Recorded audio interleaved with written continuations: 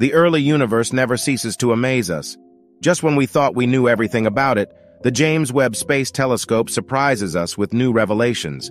But this time, it shows us small, tiny dots that are not what they seem. In this episode, we'll be discussing a recent study that has challenged our understanding of the universe. The study, which was published this week in the Astrophysical Journal, utilized data from the James Webb Space Telescope to investigate the formation of massive galaxies in the early universe. According to the study, massive galaxies formed much earlier than previously thought. Surprisingly, some of the most massive galaxies in the universe were already in place just a few hundred million years after the Big Bang. This finding is significant as it challenges our understanding of galaxy formation. Previously, it was believed that massive galaxies formed through a process called hierarchical merging, where smaller galaxies merge together to form larger ones. However, the new study suggests that massive galaxies may have formed through a different process, such as the collapse of large gas clouds. The implications of this finding are still subject to debate, but they could have a major impact on our understanding of the universe's evolution. If massive galaxies formed much earlier than previously thought, it implies that they played a more significant role in the early universe than we had initially assumed. Additionally, the study found evidence of dust production by supernovae in these galaxies, indicating intense episodes of star formation and feedback. These findings suggest that massive galaxies have a crucial role in shaping cosmic history by influencing their surroundings through gravity, radiation, and winds. But how did these cosmic giants grow so fast and furious? How did they make so many stars in such a short time? How did they overcome the obstacles that limit star formation, such as exploding stars or intense radiation? How did they survive the harsh conditions of their surroundings, such as tidal forces or ram pressure? These are some of the mysteries that we will try to solve as we delve deeper into this exciting study and explore how the James Webb Space Telescope is assisting us in rewriting the cosmic history.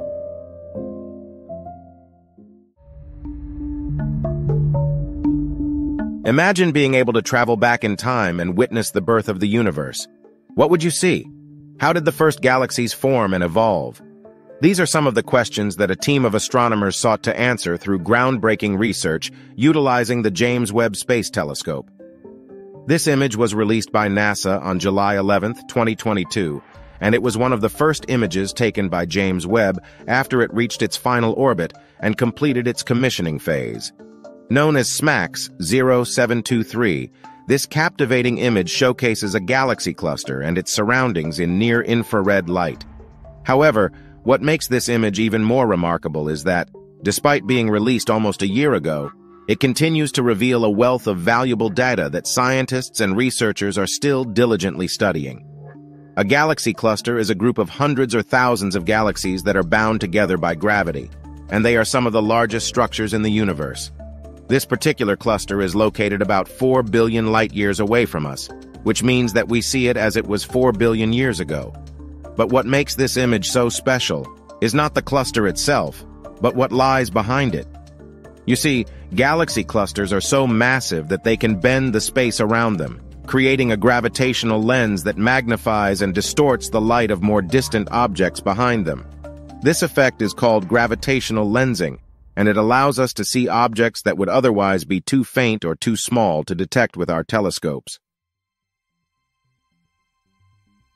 Based on recent research, astronomers have utilized the gravitational lensing effect in this particular instance to unveil five galaxies. Notably, these galaxies not only exist from an earlier epoch, but also reveal an unprecedented level of mass, surpassing any other galaxies discovered in the early universe. The image also showcased the galaxy's brightness and colors, while the spectra provided insights into their composition and movement. By analyzing both types of data, astronomers have been able to measure the essential properties of these galaxies, including their mass, age, rate of star formation, and dust content. By analyzing their redshifts, it has been determined that these galaxies are approximately 13 billion light-years distant from our vantage point. This means that we see them as they were only 700 million years after the Big Bang, when the universe was only 5% of its current age. These galaxies are among the oldest and most distant ever seen by any telescope, offering us a glimpse into a very early epoch of galaxy formation. But what truly sets these galaxies apart from any other discovery is their exceptional size. They are huge. According to their brightnesses and colors, which indicate how many stars they contain and how old they are, these galaxies have stellar masses ranging from 10 billion to 100 billion times the mass of our Sun. To put this in perspective, our own galaxy, the Milky Way, has a stellar mass of about 200 billion times the mass of our Sun, but it took much longer to reach this size. These galaxies seem to have grown very fast in a very short time span. So what's wrong with these galaxies being so big and so fast? Well, according to our current understanding of how galaxies form and evolve in the universe, they shouldn't exist at all. Let me explain why. Galaxies are made of stars, gas, and dark matter. Stars form from gas clouds that collapse under their own gravity and ignite nuclear fusion in their cores. Gas clouds come from intergalactic gas that falls into dark matter halos due to gravity. Dark matter halos are clumps of invisible matter that make up most of the mass in the universe and provide the scaffolding for galaxy formation.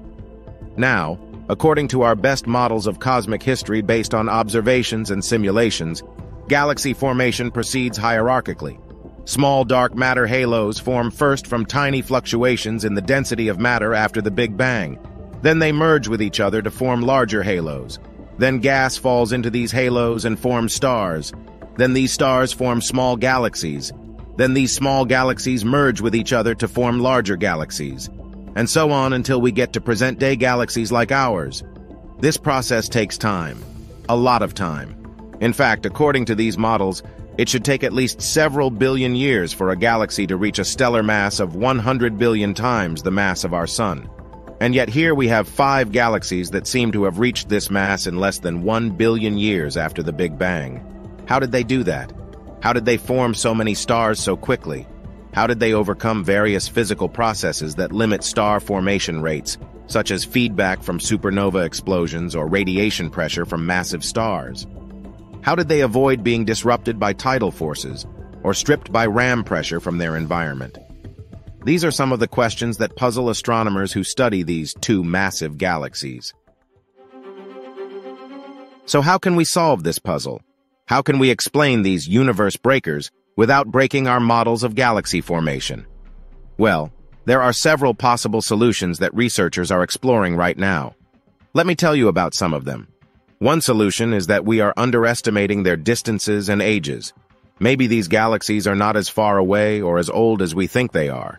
Maybe their redshifts are not accurate because they are affected by gravitational lensing or by peculiar motions within their host clusters. Maybe their ages are not accurate because they have experienced recent bursts of star formation that make them look younger than they really are. If we could measure their distances and ages more precisely using other methods such as spectroscopy or photometry with different filters or wavelengths, we might find out that they are closer and younger than we think they are. Another solution is that we are overestimating their masses. Maybe these galaxies are not as massive as we think they are. Maybe their brightness and colors are not accurate because they are affected by dust extinction, or by contamination from foreground sources, or by uncertainties in stellar population models. Maybe their masses are not accurate because they have different initial mass functions or metallicity distributions or star formation histories than we assume. If we could measure their masses more precisely using other methods such as dynamical modeling or gravitational lensing analysis or stellar kinematics measurements, we might find out that they are less massive than we think they are. A third solution is that there is something new and unknown going on in the physics of galaxy formation that we need to discover. Maybe these galaxies are telling us something fundamental about how stars form, and how gas flows, and how dark matter behaves in the early universe. Maybe these galaxies are challenging our assumptions and testing our models and pushing our limits of what we know and what we can learn about cosmic history. These too massive galaxies are just one example of the mysteries that await us to explore. How will these findings change our view of ourselves and our place in the cosmos? Stay tuned for more updates. Thank you for watching this video from our series, Rewriting the Cosmic History. If you liked it, Please give it a thumbs up and subscribe to the channel and check the playlist for more content like this. And if you have any questions or comments, please leave them below and I will try to answer them. Until next time, keep looking up and stay curious.